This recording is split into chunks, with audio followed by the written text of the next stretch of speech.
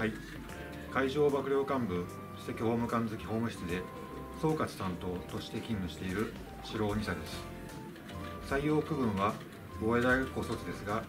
法務幹部として活躍できる実力を身につけたいと考え通信教育課程の法学部も卒業しました。現在は職務の傍ら大学院で勉強中です。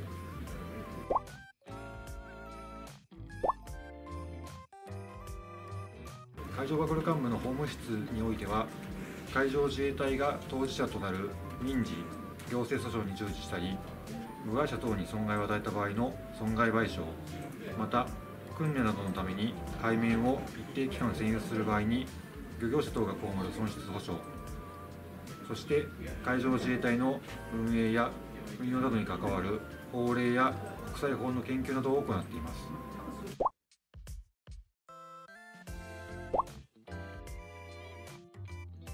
はい。普段は自衛隊の活動に関係のある国際法や国内法を調査し研究しています。そして自衛隊が部隊や装備を運用して国内外の訓練や実際の任務に従事する際に国際法や法令に照らしてその判断や行動ができるのかまた適切であるのか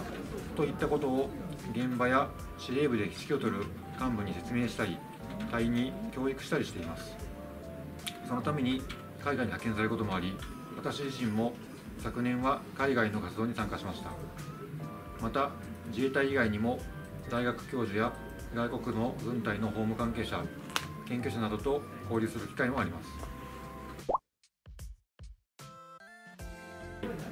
日本国内での活動でも同じことが言えますが特に外国と関わったり外国で活動する際の自衛隊の行動は日本を代表しておりそこでの判断や諸子の良し悪しが日本に対する国際的な信頼や失望に直結しかねません。適法にまた円滑に対応できれば自衛隊の隊員だけでなく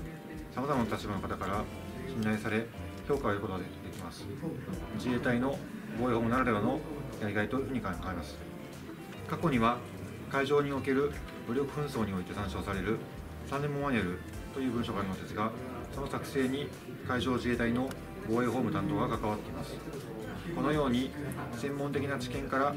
国際的なルール作りに関われることも防衛法務の魅力であると考えます。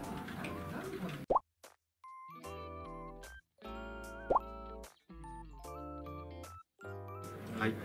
私たちの仕事は自衛隊の行う活動や運用の仕方を知っていて説明ができることまた実務家としての処置の仕方が大事であると考えます。このために必要な知識や経験は入隊後に幹部候補生学校などの研修を通じてまた勤務を通じて段階的に身につけることができます。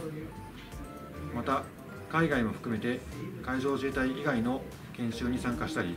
公費で大学院に進学したりして研究に専念するような機会も用意されています。自衛隊で法律の専門家として活躍できる場面はたくさんあり知識や能力を高める機会もいろいろと用意されています。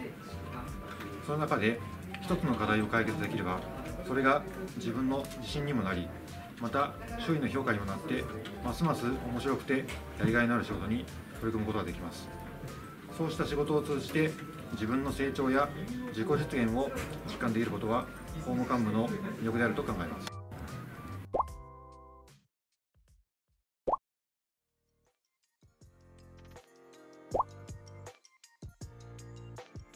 はい。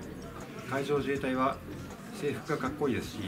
船の勤務であれば手当がついて海外に行ける機会がかなり頻繁にあります。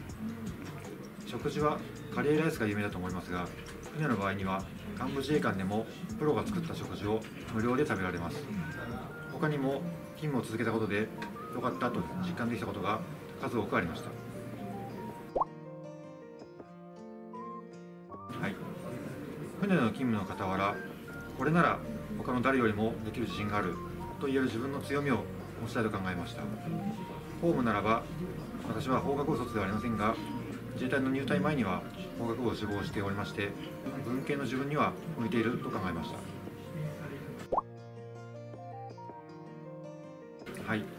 法務幹部となる前はもちろんですがなった後も船に乗ったり関係する仕事に就く機会はありました。これは個人ごとに違うので一概には言いませんが私の場合はホームと船とで半々ぐらいです。海上自衛隊においては船に関わる仕事を知っておくことは役立つことは間違いありません、はい、法律家にとってはさまざまな立場の主張を法的根拠に基づき説明する能力が大事だと考えますがこのような思考法問題点を探して解決に導く手法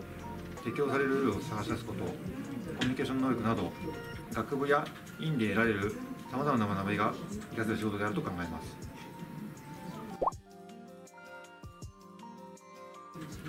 私は学生時代の進路において結果として法学部に入らず